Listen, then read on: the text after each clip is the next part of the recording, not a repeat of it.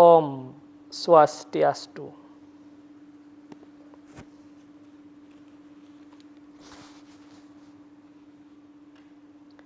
Om Awi Genamastu Namo Sidem. Om Guru Brahma Guru Wisnu Guru Dewa Maheswara Guru Saksat Param Brahma. Tasmai Sri Gurawe Namaham. Om Sidirastu Tadastu Yenamah Swaha Umat sedharma, para pemirsa Bali TV di mana pun berada, berjumpa kembali dengan saya, Igede Arum Gunawan. Pada kesempatan ini kembali menyapa umat sedharma sekalian di mana pun berada untuk menyampaikan untayan-untayan ajaran Dharma dalam acara Dharma Wacana ini. Sebagaimana yang kita ketahui bahwasannya kita masih di dalam kondisi pandemi COVID-19. Maka dari itu, jangan abai dan jangan lalai. Mari selalu kita ingat pesan ibu, melaksanakan 3M dengan disiplin dan penuh ketaatan. Rajin mencuci tangan dengan sabun pada air mengalir, memakai masker jika kita keluar rumah, dan menjaga jarak. Dan pada intinya dengan melakukan 3M itu disertai dengan kesadaran untuk mentaati aturan-aturan protokol kesehatan awi genamastu kita segera terbebas dari kondisi pandemi ini dan kita dapat beraktivitas sebagaimana mestinya seperti sedia kala. Umat sedharma yang berbahagia pada kesempatan yang baik ini saya akan mengangkat topik yaitu ceciren jagat. Di mana pada kesempatan yang lalu uh, saya sempat mendiskusikan dan mengajak semeton sarang sami umat sedharma untuk membahas ceciren jagat yaitu zaman Kali Yuga. Bagaimana ciri-ciri zaman Kali Yuga itu. Nah, pada kesempatan ini saya mengajak umat sedharma untuk melihat kembali ceciren jagat atau prawesaning bumi ini menurut kajian-kajian daripada lontar-lontar yang ada di Bali dan juga pemahaman-pemahaman, pengalaman-pengalaman dari tetua kita. Mengapa saya mengangkat topik ini? Karena kita hidup di bumi ini kita hidup di dunia ini di zaman Kali Yuga ini sebenarnya banyak ilmu pengetahuan yang tersebar. Banyak sekali ilmu ilmu-ilmu yang sebenarnya sangat mudah kita dapatkan. Tetapi kita sering menjadikan ilmu itu hanya sekadar teori yang kita simpan untuk diri sendiri, tetapi kita tidak manfaatkan dengan baik. Itu artinya di zaman Kali Yuga ini ilmu pengetahuan itu hanya sekadar disimpan, tidak untuk dimanfaatkan atau digunakan dengan bijaksana. Sekalipun dimanfaatkan, sekalipun dipakai, nah kadang-kadang juga Nah, di zaman Kali Yuga ini ilmu ini banyak yang disalahgunakan. Nah, niki mawinan eh, pengetahuan-pengetahuan yang kita miliki ini harus kita gunakan dengan baik, gunakan dengan bijaksana. Karena dalam pustaka eh, Canakya Niti Sastra disebutkan adalah Nasti Widya Samomitra tidak ada teman yang lebih baik daripada ilmu pengetahuan itu. Maka pengetahuan ini kita harus jadikan teman. Maksudnya apa? Pengetahuan ini harus kita ajak, kita gunakan dengan baik, dan kita manfaatkan dengan bijaksana. Dia yang senantiasa menemani hari-hari kita. Nah, pengetahuan itu. Maka dari itu, pengetahuan-pengetahuan yang banyak ini pengetahuan-pengetahuan yang tersebar dari berbagai macam pustaka suci kita, termasuk pengetahuan-pengetahuan dari leluhur kita yang tersampaikan dalam kearifan-kearifan lokal masyarakat ini, mari kita jaga dan mari kita laksanakan dengan baik. Kemudian sering terjadi di masyarakat modern ini ketika kita membahas tentang ceciren jagat, apalagi yang nanti akan saya bahas, itu akan memunculkan dualisme pemikiran. Satu, pemikirannya adalah percaya, percaya sekali gitu. Karena itu, oh, nak mula itu, mula saja tuh, gitu. Ya. Tapi satu pihak akan muncul eh, apa namanya sikap moboye. Moboye dalam artian, ah, tidak ada yang begitu-begitu. Ada yang keto-keto. Ah, ah, itu klinik itu. Ah, itu hanya mitos. Itu hanya guguan tuan. Tidak benar. Nah, ada pemahaman begitu jadinya. Di masyarakat modern ini, di tengah orang sudah mempelajari ilmu pengetahuan modern sains itu, pengetahuan-pengetahuan leluhur kita itu menjadi seolah-olah dimentahkan begitu. Seolah-olah itu hanya uh, mitos nah, klinik itu. Nah, ya begitu. Padahal ya, padahal teks-teks suci kita termasuk kearifan lokal yang ada di Nusantara ini adalah sangat ilmiah, adalah sangat logis, tetapi cara penyampaian ini kadang-kadang ya artinya zaman dulu itu dibuat menyeramkan tanda petik. Jadi ya, wah, tidak boleh begini, nanti akan ada begini. Nah, begitu ya. Jadi seolah-olah ini menjadi mitos atau klinik jadinya. Padahal pengetahuan-pengetahuan yang dimiliki oleh leluhur kita itu sangat logis dan ilmiah. Nah, pada kesempatan ini saya mengajak umat sedharma sekalian untuk kembali merenungkan bagaimana prinsip-prinsip kearifan-kearifan lokal leluhur kita yang ada di Nusantara ini, khususnya yang ada di Bali. Karena dalam pustaka suci eh, Saresa Muscaya disebutkan bahwa untuk memahami catur weda samita itu, untuk memahami hakikat ilmu ketuhanan Brahma Widya itu harus diawali dengan Purana dan Itihasa. Jadi Purana Itihasa itu tidak lain adalah etika dan pedoman mengandung ajaran pedoman-pedoman kehidupan. Artinya kearifan lokal yang ada di masyarakat adalah Purana itu sendiri. Ya, jadi Purana Puri itu berarti kuno, ya lama.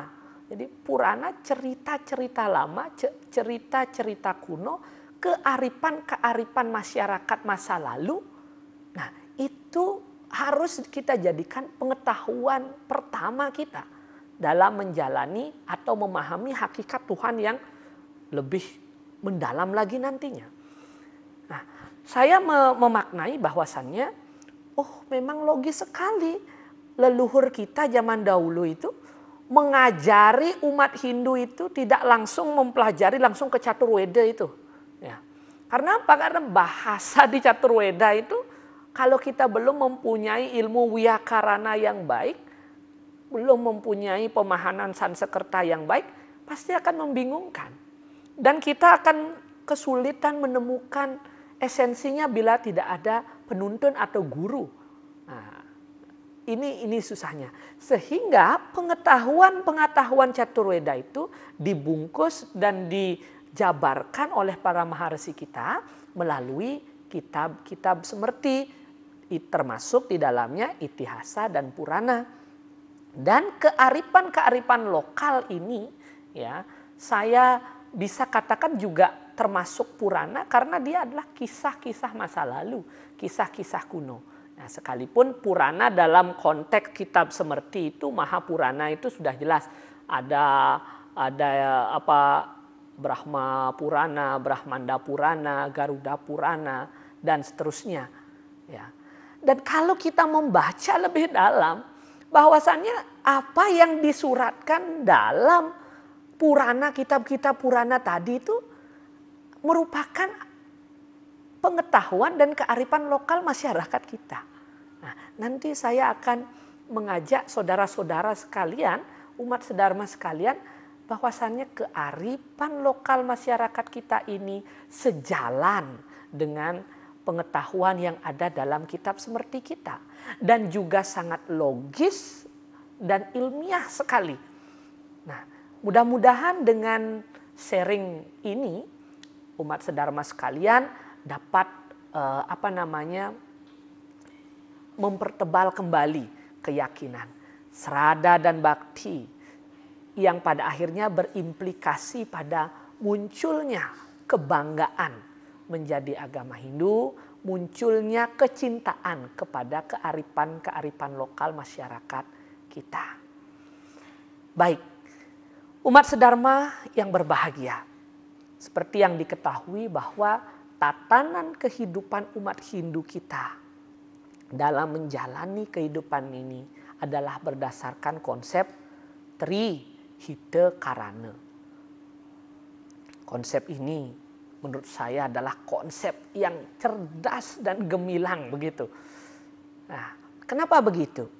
Karena kehidupan manusia itu tidak semata-mata urusan dirinya sendiri. Hidup manusia ini adalah berkaitan dengan dirinya sendiri, dirinya dengan orang lain, dirinya dengan Sang Pencipta, dan dirinya dengan lingkungan. Konsep ini luar biasa umat sedharma sekalian. Seperti yang kita ketahui terhite karana adalah tiga penyebab mencapai kehidupan yang bahagia sejahtera. Maka untuk mencapai kebahagiaan dan kesejahteraan itu harus ada keseimbangan antara bagaimana membangun hubungan yang harmonis antara diri kita dengan Sang Pencipta yang kita sebut dengan pahyangan, pehyangan, hyang artinya Tuhan. Ya. Termasuk para leluhur. Nih. Ya, jadi di dalam pehyangan ini ide Sang Yang Widi baik yang nirguna, saguna Brahman maupun nirsaguna Brahman. Siwa, sada siwa, parama siwa. Ya. Jadi konsep ini Pertama itu adalah bagaimana membangun keharmonisan dengan Sang Pencipta. Yang kedua, membangun keharmonisan dengan sesama kehidupan manusia. Ini yang kita sebut dengan pewongan, wong, manusia. Jadi harmonisasi kehidupan antara diri kita dengan masyarakat. Termasuk di dalamnya harmonisasi dengan diri kita sendiri. Bagaimana mau harmonis dengan masyarakat kalau kita tidak harmoni dulu? Nah, mungkin indah yang kayunin. Iya neraga niki napi astane eh kengkenang nagih mekenyem ajak nyamo yang raga gelem kan kalau kita sendiri belum uh, belum tenang belum mendamai berdamai dengan diri kita hmm? Oh, jadinya ada senyum palsu nanti. Jadi akan banyak kepalsuan-kepalsuan. Maka damaikan diri kita dulu. Maka benar itu konsepnya. Ya, oh, mensano in corpore sano. Nah, di mana ada badan yang sehat, di situ ada jiwa yang sehat. Jadi kita harus sehat dulu. Badan kita sehat, jiwa kita sehat. Maka apa yang kita berikan kepada orang lain akan menjadi tulus. Hmm. Maka di tengah kondisi pandemi ini, kesehatan itu nomor satu. Protokol kesehatan itu wajib kita tegakkan dengan disiplin dan taat. Tujuannya apa? Agar kita bisa melindungi saudara kita yang lain. Agar kita bisa menjaga sahabat kita, keluarga kita, masyarakat, bangsa dan negara. Maka dimulai dari diri sendiri.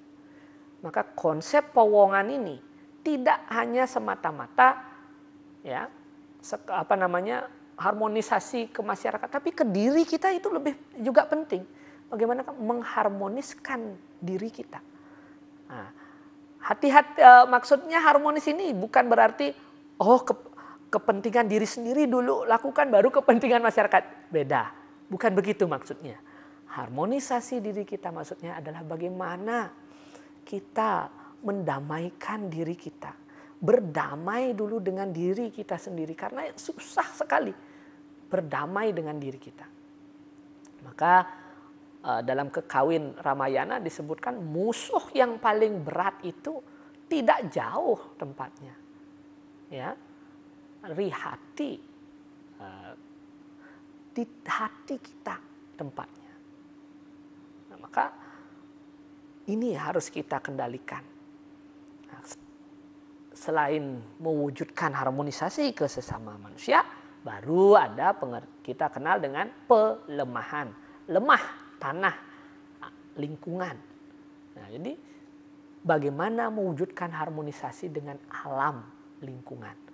Maka inilah yang kemudian di Bali melahirkan konsep tapak dare nike. Nah, tapak dare nike apa nike pun tanda tambah ini ke.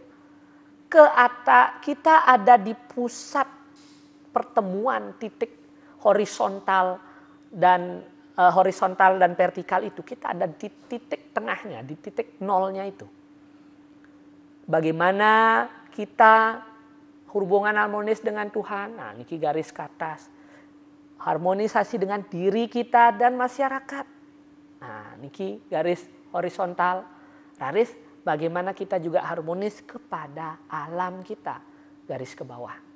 Konsep tapak dare. Niki sampun keseimbangan maka kalau kita melihat ada orang melaspas, pasti bangunannya diisikan pamor, medaging, tapak dare. Yen wenten puniki na alit, anak kecil, niki uh, napi nguyang. Uh, nguyang artinya tidak tidak tenang, rewel begitu malam hari. Aduh, amah lihat subone ya, begitu. Ada pemahaman seperti itu. Ya, aduh deh gunggol lah subone ya. Ada, apa ada kene, ada gitu gitu segeralah orang tua-tua kita mengambil bawang kita tas kenten corek ini nih ke bentuk tapak dara gitu. Ya ya jadi sebenarnya adalah konsep tapak dara itu bukan sekadar eh, apa namanya pesikepan atau bukan sekadar klinik gitu ya untuk menangkal roh jahat. Tetapi itu sebenarnya adalah sebuah cerminan. Halo manusia sekalian halo umat Hindu sekalian, yuk kita wujudkan keseimbangan. Gitu maksudnya. Leluhur kita mengajari kita itu untuk terus hidup seimbang, harmonis. Apa pun yang tidak seimbang, tidak harmonis, apa pun yang berlebihan, pasti akan mengakibatkan guncangan. Contoh puniki. Nah, contoh misalkan eh, gelas. Gelas daya tampungnya sekian. Kalau kita berlebihan kita masuk e, berikan air kan airnya itu akan meluber, tumpah ke be, ke keluar dari gelas itu. Jadi gelas ini sudah punya takaran. Kalau kita melebihi takaran, maka mubasir. Kita tidak akan mendapatkan apa-apa. Bisa jadi terbuang sia-sia. Begitu juga kehidupan ini. Semua sudah ada takarannya, semua sudah ada porsinya. Maka Tuhan itu adalah beliau itu sangat-sangat proporsional dan sangat detail sekali mengatur itu. Ketika ada sesuatu yang tidak seimbang, maka akan terjadi sesuatu, ah, terjadi sesuatu untuk kembali menyeimbangkan itu. Dan kitalah akan merasakan dampaknya. Ketika ada sesuatu yang tidak seimbang, maka akan terjadi sesuatu, ah, terjadi sesuatu untuk kembali menyeimbangkan itu. Dan kitalah akan merasakan dampaknya. Contoh lagi untuk membuktikan itu. Ketika ada di suatu tempat niki tanah uh, kalau dalam ilmu geografi ada tanahnya turun ya maka di tempat yang lain pasti akan ada tanah yang terangkat ketika di suatu tempat uh, niki es mencair kemudian ad, uh, mengakibatkan air laut tinggi ya kemudian menenggelamkan uh, beberapa dataran yang rendah. Niki bumi kita secara tidak sadari dia tetap meninggi. Nah, mengalami gerakan di bawah tanah itu. Ada gempa, nah, niki gempa, terjadi longsoran. Di satu tempat akan naik. Kemudian ada gunung meletus, nah, mengeluarkan lava nah, dan seterusnya. Akan membentuk lagi lapisan tanah yang baru. Itulah keseimbangan. Karena kalau ini eh, apa namanya dibiarkan lavanya bisa jadi niki akan menyebabkan sesuatu yang lebih besar dampaknya. Niki alam sudah secara eh, natural dia me, melakukan itu. Tubuh kita juga sama. Ketika ada benda asing masuk ke hidung kita, pasti kita bersin. Karena tubuh kita ini sudah proporsional. Kalau berlebihan pasti bersin. Kalau kita kekurangan air, kita menjadi haus. Kalau kita tidak minum, kita biarkan tubuh ini tidak minum, dehidrasi. Nah, dehidrasi menyebabkan lemas. Ketika kita lemas, maka kita mengurangi apa kerja tubuh kita agar tubuh ini tetap bisa e, bertahan. Maka segera kita minum air. Begitu juga ketika kita kelelahan, mata kita otomatis mengantuk. Tujuannya apa? Kalau ini dipaksakan, maka kerja tubuh kita tidak baik. Maka kita secara otomatis mata ini mengantuk. Kita tidur, kita pejamkan mata sebentar. Nah, ketika mata ini, tubuh ini sudah merasa cukup, maka kita akan sadar, bangun-bangun, segar kembali. Itu yang saya maksud keseimbangan ketika ada anak kecil menangis, dibuatkan, uh, diambilkan bawang, diberikan corek tapak dara. Nah, kemudian anak itu kok bisa jadi tenang? Kok bisa jadi tidak uh, rewel lagi? Keseimbangan bagaimana? Keseimbangan adalah mungkin si anak ini perlu dampingan orang tua. Jadi anak ini anak bayi kan sering nih ke rewel tiba-tiba. Itu adalah secara psikologi si anak ini perlu dampingan orang tuanya. Perlu sentuhan bapak ibunya. Perlu sentuhan kasih sayang dari guru rupakenya. Karena bapak dan ibu ini kan adalah perwujudan Tuhan di dunia. Maka setelah bapak ibunya, aduh nih sampun ngeleng, dengeleng, ayo, ayo, ayo. Kan langsung anaknya itu tenang. Ini kekuatan luar biasa yang dimiliki sang bapak dan sang ibu. Niki pun pesikepan yang utama adalah kasih sayang itu. Maka di sana ada keseimbangan yaitu pewongan. Ini bangunan diisi tapak dara. Ya kan? Kenapa begitu? Biar kita selalu ingat menjaga keseimbangan bangunan itu bagaimana kita merawat bangunan itu, bagaimana kita merawat keseimbangan penghuni bangunan itu. Oh, pangten me, metongkrah, pangten rago mesiat, kenten. Oh, bangunan sebuah misi tapak dara. Oh, oh di sini orangnya harus ruk, rukun nih, nak rukun rukun. Ah, harmonis nih, ya begitu. alamnya oh natah harus kedas oh ane pacen patut tandur ring pumahan cen tanduran ten patut di pumahan keseimbangan. Oh makin rainan harus ngatur rakyatnya niki. Miken uh, napina wastane odalan patut ngaturang piodalan ring merajan ngeraris mecaru. Keseimbangan. Selalu ada keseimbangan.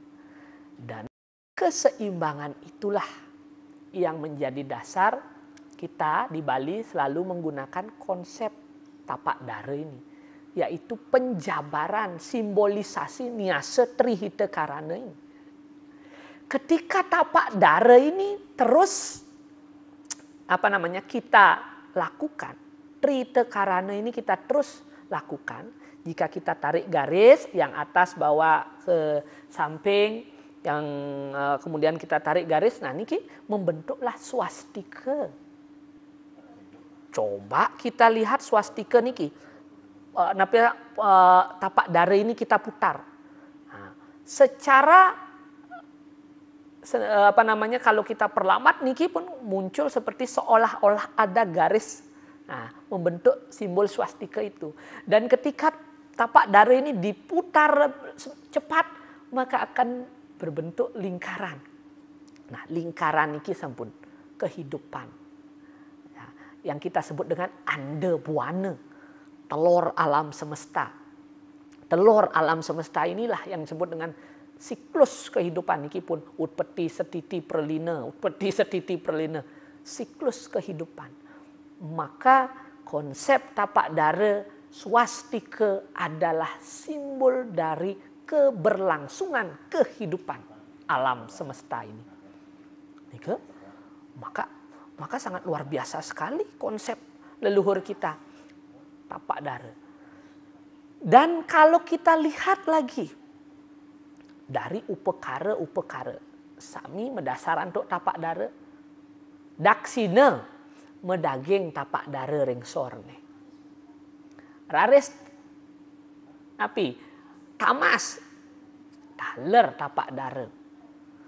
Nah, jadi semua adalah konsep tapak dara merepat bunter. Tergantung. Itu adalah kenapa merepat dan bunter itu menjadi alas. Itu tadi.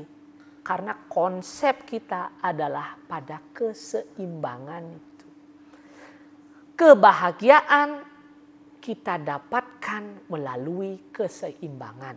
Hipte ini kita dapatkan melalui keseimbangan.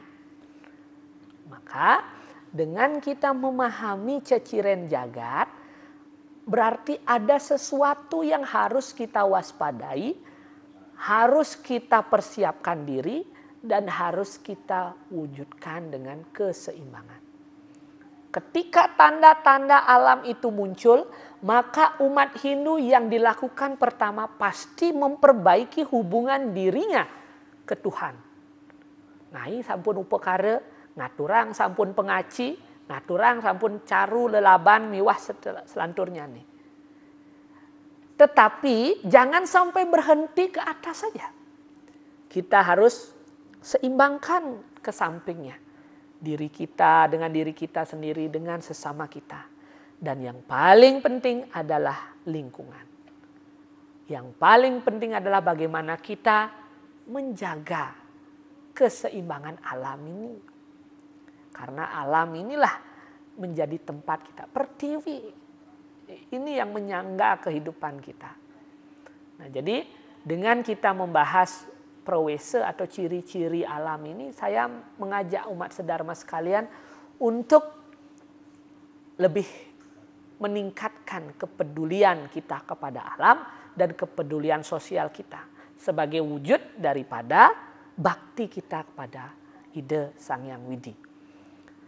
Baik, yang pertama kita melihat yang mana menjadi simbol atau yang memberikan ciri dalam uh, apa namanya tanda-tanda bagi kehidupan ini.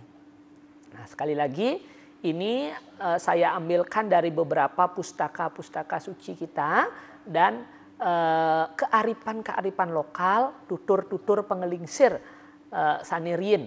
Ya, jadi tutur-tutur para tetua kita pada kehidupan uh, sebelumnya. Yang pertama saya mulai mengajak saudara untuk melihat ciri jika ada bulan kepangan. Nah, Dedane menawi wenten istilah bulan kepangan ini adalah gerhana bulan. Ya, gerhana bulan. Kalau secara ilmu astronomi, gerhana bulan, gerhana matahari adalah sebuah peristiwa alam yang eh, lumrah terjadi karena ah, bumi, bulan itu bersama-sama berevolusi mengelilingi matahari dan pada suatu ketika bulan, bumi, matahari ini bisa berada pada sebuah garis lurus sehingga bayangan dari bulan atau bumi ini bisa jadi menutupi sinar matahari. Dan ini akan berdampak pada seolah-olah bulan itu tidak bersinar dan seolah-olah matahari itu tertutupi oleh suatu bayangan sehingga sinar matahari itu tidak terlihat dengan jelas. Nah, Niki yang secara astronomis yang menyebabkan terjadinya gerhana bulan dan gerhana matahari. Tetapi kejadian munculnya gerhana bulan, gerhana matahari ini kan eh, tidak bisa diprediksi secara eh, periodik. Oh sekian tahun nanti ketemu gitu. Jadi bisa saja terjadi penyimpangan-penyimpangan. Ya, dan kejadian yang ini adalah kejadian langka. Sehingga kejadian langka ini akan membawa simbol membawa tanda bagi kehidupan masyarakat kita. Sebagaimana tradisi di Bali dan di Jawa hampir mirip bahwa ketika terjadi bulan kepangan niki, nah, kocap pun niki betara surya lan kalau bulan gerhana matahari betara surya puniki caplok ke tekening sang kalerau. Nah, kemudian kalau gerhana bulan sang yang chandra niki caplok ke niki sarang kalerau. Nah, ini kisah ketika uh, pemutaran Mandaragiri Samudra Mantana ketika Amerta ini didapatkan raksasa Rahu ini menyamar sebagai dewa. Nah, menyamar sebagai dewa untuk ikut mendapatkan pembagian amerta itu. Nah saat pembagian amerta ganti niki sang kalerau niki sang rahu ini mendapatkan amerta itu sang yang surya dan sang yang chandra yang melihat si kalerau ini nyuti rupa melaporkan kepada Betara Wisnu sehingga Betara Wisnu mengeluarkan cakra sudarsananya dan memotong akhirnya leher sang kalerau puniki. Lalu amerta yang sudah dia minum baru sampai pada gulunnya, baru sampai pada lehernya. Ketika Niki dipotong, nah badannya tidak mendapatkan amerta, badannya musnah, tetapi Niki kepalanya abadi jadinya karena mendapatkan amerta. Nah niki seolah lares niki bersumpah lah si kalerau niki oh kapan ini gara-gara si sang yang Surya dan sang yang Chandra ini ini nanti kapan ini saya akan kejar dan akan saya makan. Nah, ketika sang kalerau ini uh, sung sang yang Surya ini dimakan oleh uh, rau karena dia tidak punya badan kan otomatis bebas. Nah itu itu uh, kisah mitologinya dan yang berkembang di masyarakat Bali maupun di masyarakat eh, Jawa maupun Nusantara bahkan seluruh dunia memiliki tradisi yang sama bahwa bulan ini dimakan oleh uh, kalerau ini. Nah, padahal secara uh, astronomis tadi sudah kita bahas sebelumnya. Nah, ini ada sebuah simbol Bapak Ibu sekalian, umat sedharma sekalian, ada simbol ya bahwa untuk mendapatkan sesuatu untuk mendapatkan amerta, untuk mendapatkan rejeki itu harus lurus jalannya, harus benar caranya, harus benar peruntukannya. Iki sang kalerau niki kan mendapatkan amerta dengan berbohong. Nyuti rupa dari betara. Ya kan? Jadi cara untuk mendapatkan amerta ini tidak benar. Dan dia memang tidak berhak mendapatkan amerta itu. Jadi sesuatu yang memang tidak berhak kita terima, tidak berhak kita gunakan, kemudian kita paksakan untuk dapatkan dan ambil, itu akan membahayakan diri kita. Kenten? Nah, akhirnya sang kalerau niki terpotong. Di sinilah simbolnya bahwa jangan kita mengambil sesuatu yang bukan menjadi hak kita. Dan akibatnya kita menderita sepanjang hayat. Nah, dengan adanya bulan kepangan dan bulan uh, apa namanya uh, mata naik kepangan ini menjadi sesuatu yang menyeramkan di masa lalu ya sehingga um, oh, leluhur kita ketika terjadi bulan kepangan mata naik kepangan pasti mendebuk lesung ya ngoncang istilahnya ini baik di Bali, Jawa, Nusa Tenggara maupun daerah-daerah lain di Nusantara ketika terjadi gerhana matahari, gerhana bulan pasti itu ngoncang ya. Nah, ngoncang ini tidak lain adalah sebuah kalau kita lihat lesung dan lu itu ya. Ini lagi keseimbangan lagi. Yaitu lu-nya adalah lingga lesung itu adalah yoni.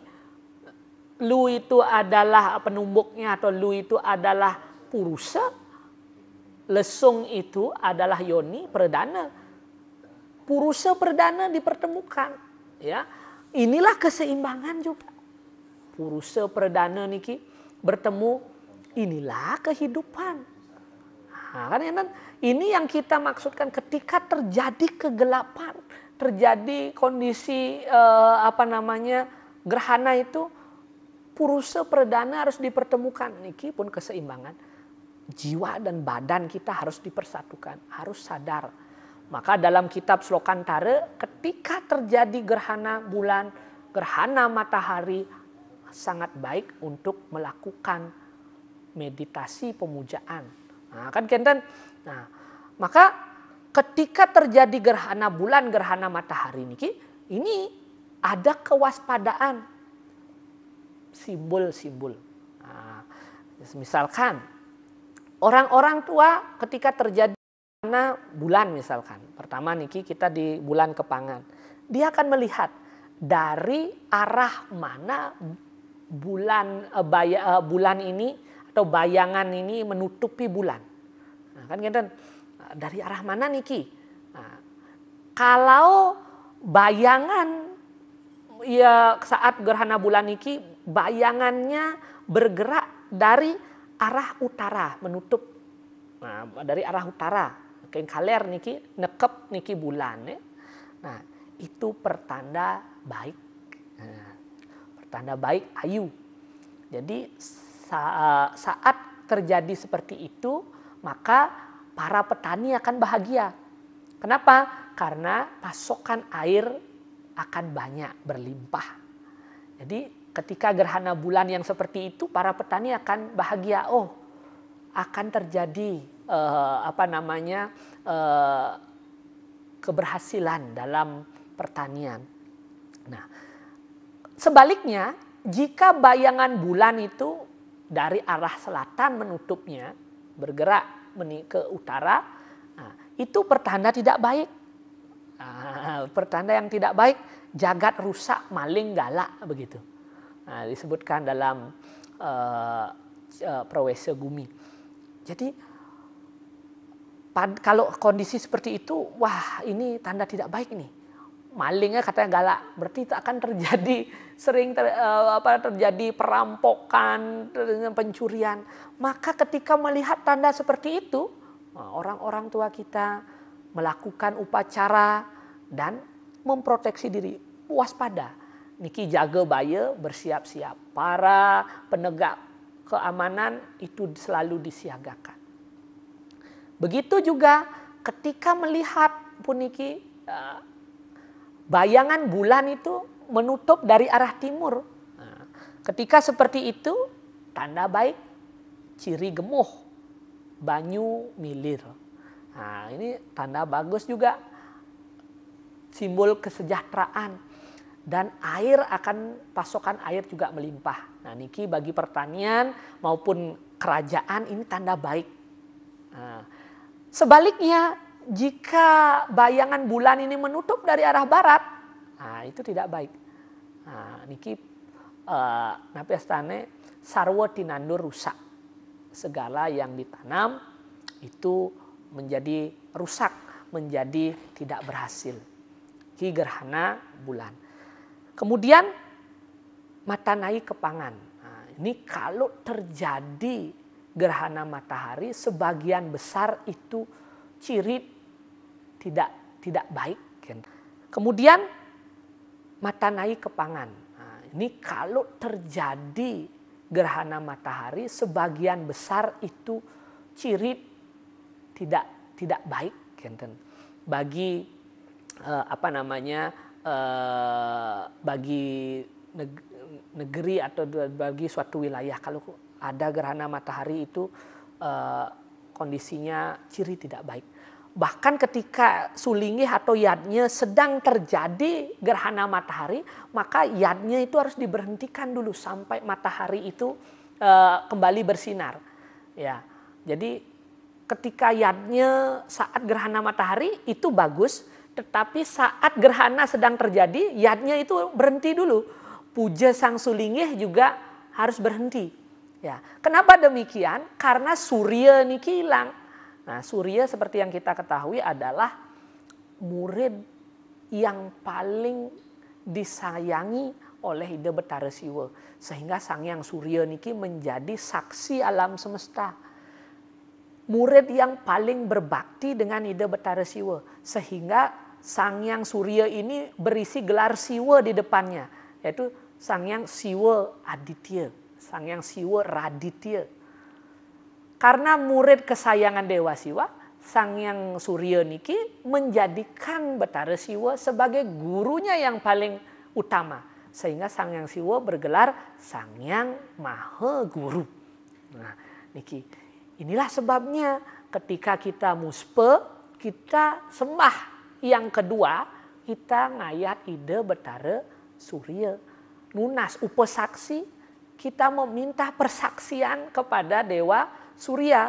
Nah, walaupun niki di malam hari dan po petang mau ke surya raditya udah sing chandra kenten Kenapa surya? Ya tadi adalah si surya niki sebenarnya tetap ada. Di malam hari sang yang surya ini tetap bersinar ya. Sinarnya dari mana? Sinarnya dari bulan. Bulan itu kan tidak mengeluarkan sinyal sinar sinar dari bulan ini adalah pendaran cahaya dari sang yang surya. Makanya kita menjadi surya niki utama dialah saksi alam semesta. Yadnya pasti medaging surya. Nike mawinan, yening wenten ya, upakara napi pasti niki wenten peling api e, mekarya pelinggih surya. Ditan mekarya pelinggih surya, medaging niki Banten adulang pejati angin linggih ide betara surya pindah karena beliaulah saksi. Beliaulah yang menjadi bisa dikatakan yang mencatatkan apa yang kejadian diatnya makanya kalau sudah surya sudah berdiri Banten sampun munggah ring surya semua perilaku itu harus terkendali.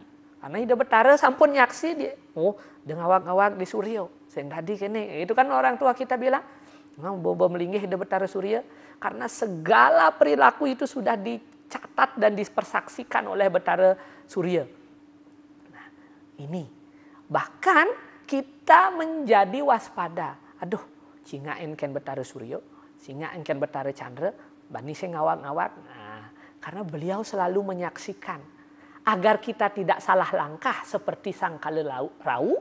Nah, niki maka kita diwajibkan berwaspada. Itulah yang menyebabkan ketika terjadi gerhana matahari itu sering menjadi pertanda tidak baik bagi dunia ini. Maka ketika terjadi gerhana matahari pasti akan dilanjutkan pada tilem berikutnya dengan upacara pecaruan. Karena uh, ini ser, dengan adanya gerhana matahari ini sering memberikan tanda ketidakberhasilan dalam dunia pertanian maupun dalam peruntungan perejekian gitu. Termasuk ketika terjadi di sasih-sasih tertentu. Tetapi ada beberapa sasih uh, bila gerhana matahari terjadi di beberapa sasih niki seperti misalnya di sasih karo itu terjadi gerhana matahari itu tanda baik murah pangan sandang apa yang dikerjakan itu bisa berhasil. Nah, sebaliknya juga di sasih ke ulu ya pada bulan ke-8 eh, di Bali penanggalan Bali itu juga pertanda baik tanda jagat gemuh raharja. Tetapi kalau di sasih selain itu, selain karo dan kaulu, nah menurut uh, lontar perwesa itu, maka itu uh, menandakan akan terjadi pertanian itu kurang baik.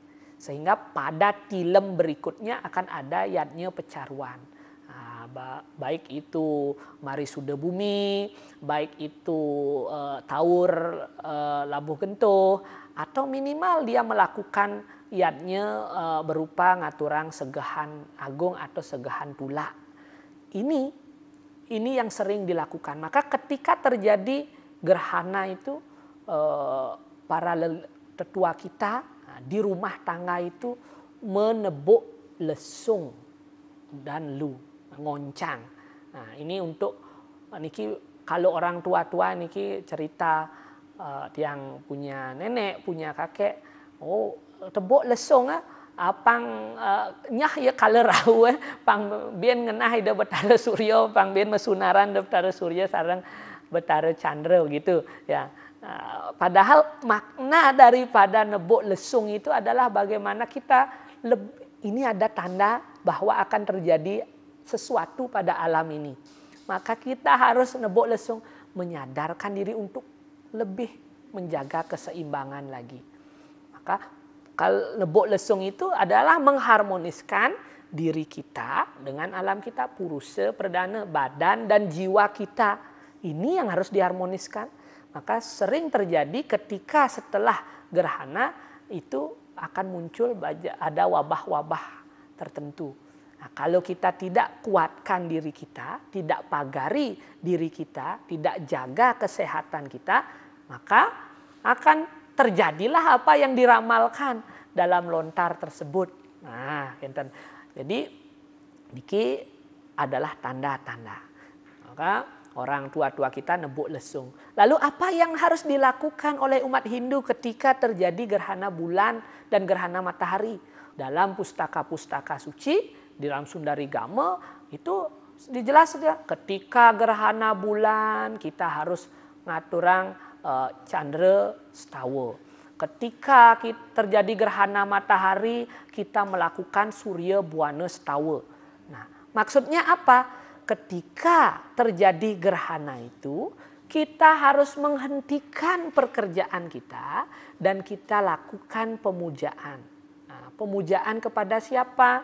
Nah, sudah jelas tadi kepada Betara Surya ketika gerhana matahari kan kepada Betara Chandra. Kalau tidak tahu pujanya itu, kita bisa lakukan dengan duduk hening meditasi, ngeningang kayun, ulengang kayun. Nah, sangat baik setelah gerhana itu kita melakukan dana punya. Sebagaimana disebutkan dalam lontar sila krama itu saat gerhana bulan gerhana matahari terjadi, nah, setelah itu kita melakukan dana punya, maka punyanya itu akan dilipat gandakan seribu kenten ring sila kerama lan lontar slokantara. Mari kita lihat maksudnya apa? Ya itu tadi karena gerhana bulan dan gerhana matahari ini sering membawa pertanda tidak baik, maka kita diingatkan untuk melakukan karma baik. Nah, setidaknya saget wenten bencana, saget wenten uh, keberbahan, kita sudah melakukan yadnya untuk mengantisipasi itu setidaknya kita tidak mendapatkan efek yang terlalu berat. Dua ini raga sampun puniki meyadnya, sampun raga mewujudkan keseimbangan tadi. Nah, nike sampun saat maka kawace, nah, tameng diri. Karena yadnya itu secara tidak langsung adalah investasi masa depan. Nah, dadosnya nih eh, ketika terjadi gerhana bulan, gerhana matahari, elingang. Niki raga sarang sami setate ngayat ide betara, betara surya, wiadin betara chandra, dan kemudian melakukan karma baik, baik itu dana punya ataupun menata kembali, menjaga kesehatan diri kita, menjaga kesehatan keluarga, lingkungan, dan lain sebagainya. Nah itu pertama saya awali pertanda alam ini dari gerhana bulan dan gerhana matahari. Kemudian alam juga memberikan pertanda melalui puniki suaran cecek. Ah, niki malih niki uh, cecek mungkin angin angin uh, kenten pertiwimbe angin niase sebagai simbol eh, kode alam niki. Oh, suaran cecek kode alam. Nah, niki dan wenten kaitannya dengan perjudian niki nggih. Kode alam dimaksud ini adalah sebagai tanda ketika ada sesuatu perbincangan penting. Dalam lontar lebur uh, uh, sangse disebutkan kalau terjadi pertemuan. Misalnya ki wenten pertemuan, wenten rapat, wenten sangkep, ada diskusi yang memberisi muatan-muatan pembicaraan yang penting berisi muatan-muatan pembicaraan yang ya artinya sangat e, menentukan sesuatu kan? Dan apalagi terjadi persidangan niki nah seng e, wenten e, seperti di pengadilan tawinapi wenten sangkep seperti itu kalau dalam kita di di desa adat. Kalau ada suara cecak itu menjadi pertanda tersendiri bagi jalannya atau pembicaraan yang sedang dilakukan. Nah, niki ini eh, sebagai tanda pertanda alam saja yang bisa kita gunakan untuk mewaspadai suatu pembicaraan. Seandainya ada diskusi di balai pertemuan itu, kita mendengarkan suara cecak di arah timur. Niki ring balai persidangan, niki utawi ring balai peparuman, iraga wenten suaran cecek ring sisi kangin kenten. Nah, itu menurut lontar lebur sangse itu dikatakan asing karya tanside apa yang dibicarakan tadi tak berhasil. Nah, kalau ada suara cecek nah, ring geneye geneye ni ke di arah tenggara ya, ring kelod kangin nah, maka itu akan muncul suka duka ala ayu. Maka suka dan duka, baik dan buruknya itu seimbang. Nah, artinya muatan pembicaraan orang itu bisa benar, bisa salah, bisa terjadi, bisa juga tidak terjadi. Kemudian kalau di arah selatan suara cecak itu terdengar, maka kepangguhe lawan mitra kojarnya. Artinya apa yang disampaikan itu akan didapatkan. Maka apa yang diucapkan tadi akan diperoleh. Begitu. Kemudian kalau kita mendengar suara cecek di barat daya, ini ke ale pati ngaran. Karena arah barat daya atau kelod kauh itu adalah rudra Rudra itu Yama. Nah, ini ke arah-arah kematian nih ke. Nah, maka kalau ada suara cecek di arah itu, itu ada pati kojarnya. Ini akan ini simbol akan ada uh, tidak baik. Nah, akan ada kematian. Bisa jadi kalau kita melakukan oh, ayo kita melakukan ini begitu. Membunyi raris cecak uh, berbunyi cecak itu di arah barat daya. Wah, aduh ini harus diwaspadai maka kita harus diskusikan lagi. Kita pertimbangkan kembali dampaknya. Kemudian ada suara cecak di arah barat. Ketika ada suara cecak di arah barat, ayu amanggih druente datang. Ya, jadi itu tanda baik amanggih druente datang. Artinya apa yang dicita-citakan, yang diharapkan akan didapatkan dan diperoleh. Nah, pertanda baik. Raris, kalau wenten suara cecak di arah barat laut, ring wayabil. Nah, itu pertanda tidak baik. Ale, satru, sasab, merana, datang. Jadi ketika suara itu ada pertemuan suara ada uh, suara ada suara di arah barat laut ring kaje kau nah, itu pertanda tidak baik kemudian kalau bersuara di arah utara itu ayu ya amanggih suka mendapatkan kebaikan. Kemudian kalau di timur laut itu ane kepatian. Kalau suaranya ada di timur laut itu tidak baik. Akan menimbulkan uh, apa nama uh, hal yang tidak baik efeknya. Dan kalau ber apa namanya bersuara cecak itu ring luhur atau ring madya itu druente datang, maka apa yang didapatkan apa yang diinginkan, dicita-citakan akan diperoleh. Jadi ketika terjadi rapat, terjadi sangkep, ada suara cecek di arah selatan, itu baik, arah barat, itu baik, arah utara, itu baik, dan di tengah-tengah. Maka ketika terjadi suara cecak, itu kita secara tidak langsung itu uh, pemimpin rapat itu akan menjadi tetenger menjadi kode. Oh, ini hati-hati ini apa yang disampaikan orang ini harus kita waspadai. Ketika arahnya sudah bagus, oh ini mungkin tanda baik, mari kita lanjutkan seperti itu. Nah, disebutkan juga di lebur sangse ketika melakukan persembahyangan ring merajan puniki raga mebakti rares puniki wenten suaran cecek ring pelinggih. Nah, jadi di pelinggih ini kita mendengar suaranya maka doa-doa kita itu akan terkabul. Artinya ya artinya ide betara sampun datang gitu. Mudah-mudahan sesuai der, dikabulkan sesuai dengan karma kita. Ya nampun ring pelinggih raga ngastawa wenten suaran cecek Nah, ide betara sampun rawuh. Yening sampun mesuara ring kangin, rasane ring pelinggih ring sisi kangin, ran sisi kaja niki suaran ceceke, nah nike utama. Nah, jadi ada perbedaan suara cecek saat sangkep dengan saat melakukan upacara.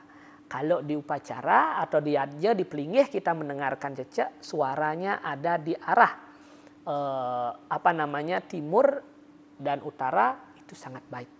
Nah, maka kita akan melakukan ya artinya semakin dalam lagi. Nah, hal ini juga disebutkan dalam lontar siwo purana. Ya. Ketika misalnya ada suara cecek, mau, bakti raga, jak masa niki suara cecek ring sisi kelon, sisi kau, aduh kok tidak ini kan tanda tidak baik ya dan aduh berarti uh, harapan saya tidak terkabul dong. Nah begitu nanti ya. Ini dalam Siwa Purana disebutkan ketika kita mendengarkan atau melihat ciri-ciri alam yang tidak baik, maka segeralah melakukan siwa puja. Siwa puja yang yang tenuning eh, siwa puja yang yang paling utama adalah siwa namaskara itu. Om Namah Siwaya.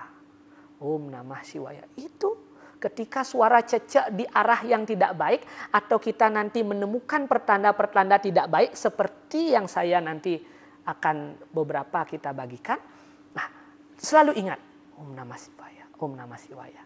Nah, arti itu betara siwa kita mohonkan untuk melindungi kita. Inilah kawace mantra kita. Ini yang disebut dengan kawace mantra. Kalau kita di dalam eh, apa namanya dalam setawa itu kan Om Retyun Jaya Dewanya Yonamani Nukir Tayet Dirgayusya Mawapnoti Sanggramo Wijaya Bawet ya Om Trayambakam Yajamahe Sugandim Pustiwardanam Urwarukam Iwabananat Retior Muksia Mamritat Om Asato Masat Gamaya Tamaso Majiotir Gamaya Mritior Mamritam Gamaya itu adalah kawace mantra kawace mantra yang tidak lain ditujukan kepada Dewa Siwa untuk memproteksi diri kita. Kawace mantra yang sederhana adalah Om Namah Shivaya. Om Namah Shivaya. Yang sampun puniki. Nah, kalau suara ceceknya itu di arah yang baik akan disambut dengan kata Sidi Saraswati. Nah, kan kan macam-macam di desa-desa masing-masing. Sar, oh, Jaya Saraswati, Sidi Saraswati. Nah, jadi kenapa Saraswati? Ya karena cecak itu nah, adalah simbol Saraswati. Nah, makanya wenten yang jaja samuan Saraswati mendaging cecak. Kenapa cecak? Nah, cecak puniki yening iraga kalau kita lihat dalam menulis aksara Bali atau aksara Jawa niki cecak itu adalah awal mula dari aksara. Nah, jadi kalau membuat aksara e pasti ada cecak dulu kita buat baru buat lengkungannya. Ne ada cecak dulu, ce dan seterusnya. Jadi cecak ini adalah awal mula. Cecak titik kecak. Nah, titik semua berawal dari aksara ini adalah berawal dari titik itu. Awal mulanya aksara adalah dari titik itu.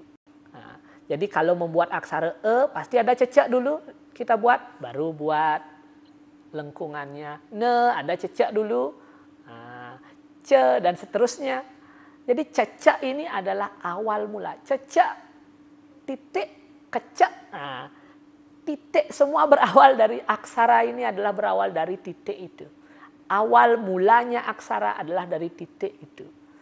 Awal mulanya pengetahuan itu adalah dari titik itu. Maka cecak ini adalah menjadi simbol dari ilmu pengetahuan Saraswati nih ke. Karena kalau kita melihat cecak, ada diskusi, ada suara cecak, apalagi yang kita omongkan serius. Jangan memunyi rare cecak kan ika, sini Saraswati, kenten sapun nak lingser-lingser. Nah, nge, aduh patut Saraswati, begitu. ya. Jadi otomatis nika orang tua kita, nenek-nenek, sing saja apa nih orang peka busan. Nah, jadi menjadi penguat apa yang disampaikan itu bahwa memang benar. Nah, jadi alam itu merespon kita. Nah, walaupun iki belum ada studi ilmiah yang membuktikan kalau cecek ini begini betul nah hasilnya begitu ya. Nah, ini adalah kembali lagi prewese tanda alam. Ya, kita gunakan untuk mewaspadai diri kita. Ya. Iki kearifan lokal masyarakat Bali dan Nusantara tentang alam. Bagaimana kita mendasari segala perilaku kita itu berdasarkan keseimbangan dengan alam. Nah, selain suara cece, ada tanda-pertanda alam yang datangnya dari hewan.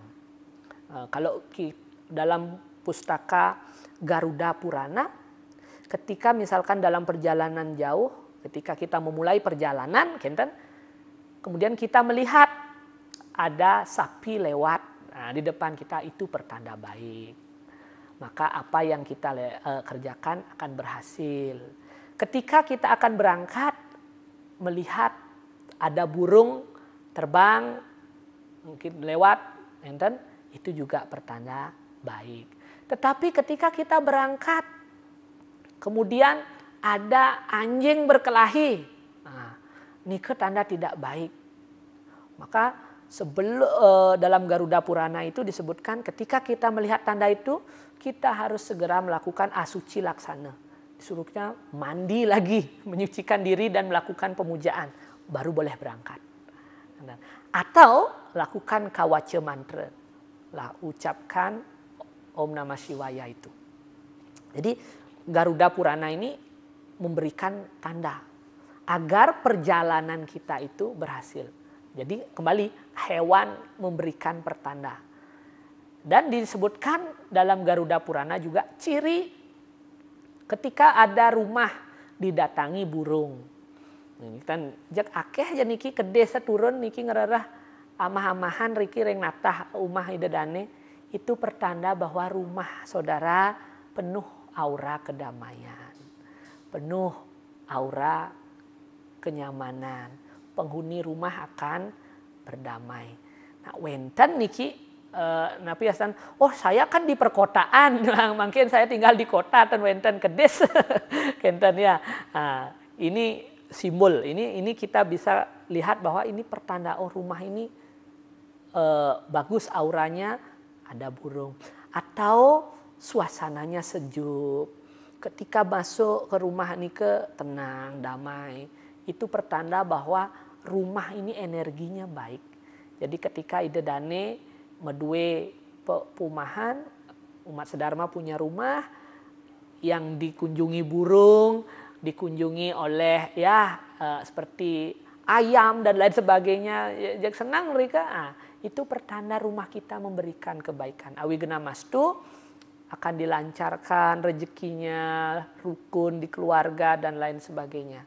Nah, sebaliknya, nah, sebaliknya nih, kalau rumah didatangi oleh hewan-hewan seperti ular, dan lelipi puniki, mecelap puniki kepumahan, nah ini tanda tidak baik.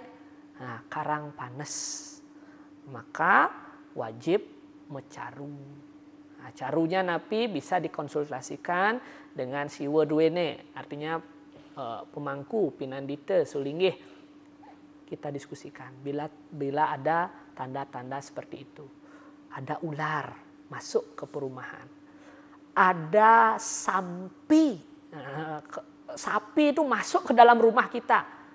Itu tidak bagus itu pertanda tidak baik. Kemudian wenten puniki uh, napi wastane ayam puniki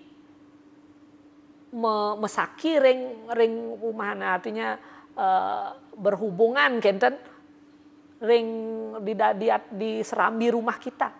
Nah, nah, kenten wenten asu ada anjing juga mesaki atau berhubungan begitu di di di atas di dalam rumah kita. Nah, itu pertanda tidak baik. Jika ada hewan seperti itu, maka karang kita sedang energinya tidak baik patut iraga ngaturang pecaruan.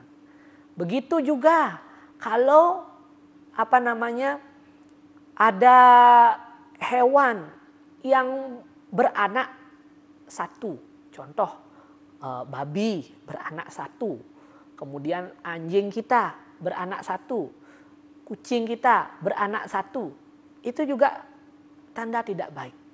Maka harus melakukan apa namanya pecaruan. Itu tanda karang ini sedang tidak baik. Itulah sebabnya kenapa di Bali ya mengantisipasi pertanda alam, mengantisipasi energi buruk itu terjadi di rumah kita, setiap kajeng kliwon atau minimal rahine yang bertemu dengan kliwon itu menghaturkan segahan. Ring dija masegah, ring natar perayangan, ring natar pumahan, randing lebuh, ring ring natar perayangan, katuring buta bucari, ring natar pumahan, katuring uh, kala bucari, raris ring lebuh, katuring durga bucari. Tiga tempat ber yang wajib dihaturkan segahan itu adalah pusat energi yang menentukan kondisi rumah kita. Nah, maka tiga tempat strategis itu kita aturkan segahan yang merupakan yadnya buta yadnya paling kecil. Ya, maka ini kembali lagi konsep tapak dara niki. Nah, ke Sang Yang Widi lan ke buta niki palemahan harus seimbang di mana ada dewayatnya, pasti ada butayatnya. Di mana ada ngaturang Banten, dia luar ngaturang Pejati, ringsor medaging segahan. Ring luar medaging Ayaban, Banten, oh, napi Taman Gembalan seterusnya, pasti ke Wenten Caru. Ring luar ngaturang uh, Pedudusan, nah, ringsor pasti Wenten Tawur. Selalu seimbang ini. ya kan? Keseimbangan, ke kewidi, kebuta, seimbang. Kita melakukan segahan, melakukan eh, apa namanya mesegah itu tidak lain adalah menjaga pusat-pusat energi di rumah kita itu agar menjadi harmonis, agar menjadi seimbang. Duaning irike, cokor-cokor kaki-kaki dari alam itu. Jadi ring perahyangan cokorne ring natah perahyangan. Jadi kalau di, di merajan kita kakinya ada di tengah natah, di tengah pekarangan pelinggih itu. Kalau di pekarangan rumah, kakinya itu ada di lebohnya. Nah, kemudian di, di halaman tengah kita itu adalah bangunan, kaki dari bangunan rumah kita. Maka ini ini pusat-pusat energi ini. Karena penyakit pun juga datang dari kaki. Nah, maka kaki yang sampun cokore puniki lemet aduh dan ngidang udiang niki maka niki kaki ini harus benar-benar dijaga nih. Nah, indayang niki tebak paku misalnya ten ngidang idadane memargi nih. Nah, pi buang nih ke nggih. Nah, oh yen metungkad nggih dados metungkad tetap likan nih ke. Makanya kaki ini nah, harus niki kita jaga dengan baik kenten nike si mawenan iraga ngaturan segahan menyeimbangkan, mengharmoniskan energi. Nike penulak nike. Nah, nah ini kembali lagi hal-hal yang kita bahas ini adalah sebagai cara antisipasi kita. Kembali lagi tadi kepada suara-suara alam. tadi suara cecak sudah saya sampaikan. Kemudian binatang apa lagi yang memberikan ciri kalau saudara-saudara mendengar suara gagak, nile paksi, wenten puniki suara gagak, kuat niki, memunyi puniki, nah, apalagi berbunyi di siang hari dan menjelang uh, sandi kala. Metingah rare sering pumahane berada di rumah ah. Itu pertanda tidak baik akan ada kematian. Jadi ketika orang-orang tua zaman dulu mendengar suara gagak, wah akan ada kematian. Maka seketika ada mendengar suara gagak itu, penghuni rumah pasti sudah mengaturkan laban, segahan. Atau kita melakukan puja ring merajan. Kita mendoakan agar penghuni rumah kita selamat, sehat, dan didapatkan perlindungan. Nah, Raris, Yeneng wenten suara celepuk uh, burung hantu di malam hari niki. Puk puk enten. Oh, kalau orang-orang tua dulu menyebutkan oh ciri wenten nak ngidam. ya, jadi ada ada uh, ibu ada ibu yang sedang mengandung, yang sedang ngidam kenten. Kemudian kalau ada suara anjing yang melolong kenten, kulun-kulun cicingnya kenten. Nah, itu menurut uh, pe, adanya pemahaman artinya turun temurun itu tanda ada makhluk halus kocap puniki memargi. Ya ada roh halus kocap memargi. Karena anjing ini kan punya kepekaan dia. Nah kita uh, ketika kita mendengar anjing yang melolong seperti itu nah kita patut waspada. And then kita melakukan kawace mantra. Nah ini bukan berarti kita langsung, wih ada cicing kulung-kulung, aduh kengken ya, aduh ada hantu liwat nih. Jadi jangan serta merta takut begitu. Tapi kita, oh harus seimbangkan diri kita, sadarkan diri kita. Nah, yen pun dan sadar, Nike pun nah, mudah masuk jadinya gangguan itu.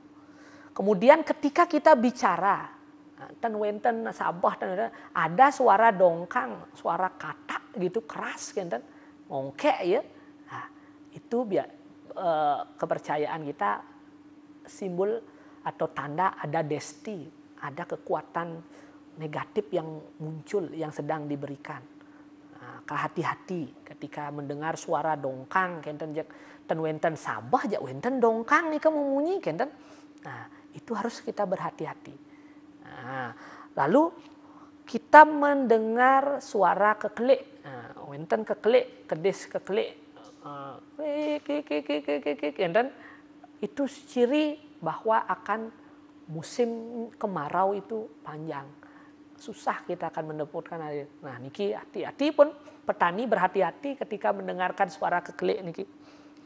Nah, raris wenten raris puniki kedes tada haseh. Nah, ini lagi kalau ini ber, berbunyi lagi aduh kedes tada haseh ini menjadi tanda yang tidak baik jagat nemu kesengsaran. Maka ketika leluhur kita mendengar, melihat tanda-tanda alam yang seperti itu, maka leluhur kita bersegera melakukan iadnya. Minimal ngaturang caru uh, segahan, ngaturang uh, napi astane pengampura lah seperti itu.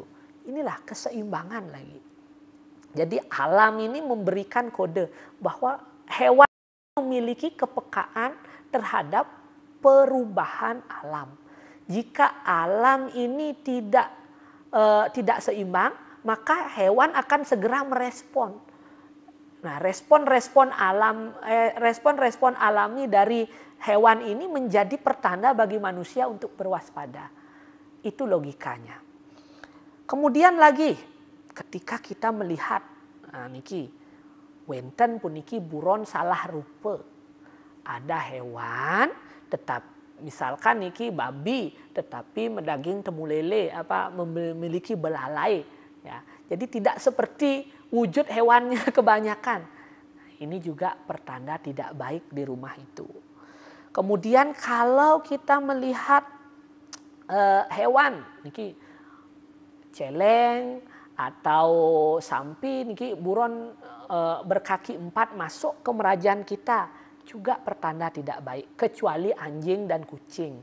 Nah, anjing dan kucing itu mendapatkan uh, tidak dia kena letah, tetapi kalau sampi bawi niki masuk ke pura niki letah.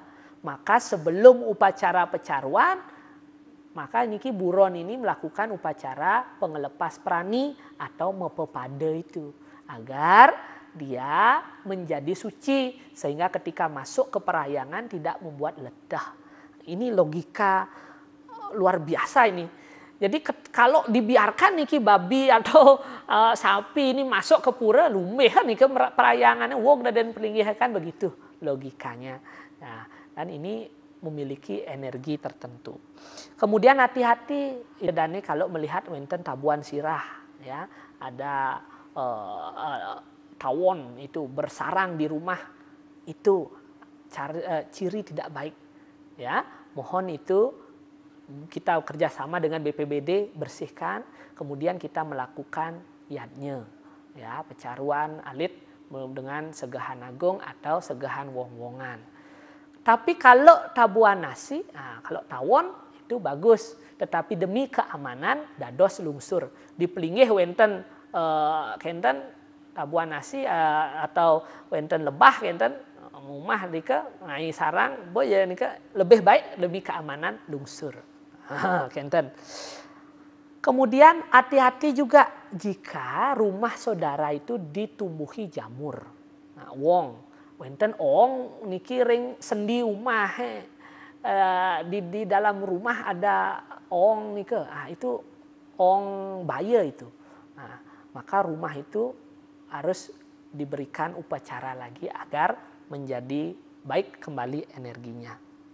Hati-hati karena inilah bentuk daripada tradisi kita di Bali bagaimana menjaga keseimbangan alam. Alam menja membawa pertanda bagi kehidupan kita. Hewan yang peka terhadap perubahan alam ini memberikan kode kepada manusia agar lebih berhati-hati dalam bertindak dan mewujudkan keseimbangan itu. Begitulah orang Bali, begitulah umat Hindu menjalani kehidupannya agar selalu terwujud keseimbangan. Ketika terjadi tanda-tanda alam yang tidak baik itu, maka lakukanlah puja, lakukanlah dekatkanlah diri kita dengan Ida Sang Yang Widiwasa Sebagaimana disebutkan tadi, lakukan puja kawaca mantra itu untuk memproteksi diri kita. Kemudian lakukan derma baik, berkarma baik dan punya dan lebih peduli lagi kepada alam lingkungan kita. Semoga dengan hal sederhana itu kita bisa diberikan kebaikan dan kebahagiaan dalam hidup ini. Umat sedharma yang berbahagia, demikian yang dapat saya sampaikan terkait dengan ceciren jagat ini. Kita masih ada di dalam kondisi pandemi. Tak henti-hentinya saya menghimbau umat sedharma sekalian untuk selalu mengingat pesan ibu. Lakukan 3M, memakai masker, mencuci tangan dengan sabun pada air mengalir, dan selalu menjaga jarak jika berada di dalam kerumunan. Dengan melakukan protokol kesehatan dengan disiplin dan penuh kesadaran itu, awi genamastu, kita bisa segera beraktivitas normal sebagaimana mestinya disedia kala. Semoga semua makhluk hidup berbahagia. Loka samasta sukino bavantu. Om Shanti Shanti Shantihi. Om.